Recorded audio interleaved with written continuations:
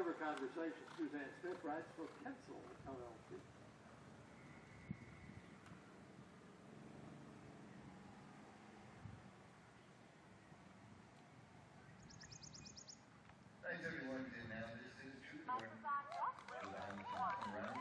Seven hundred.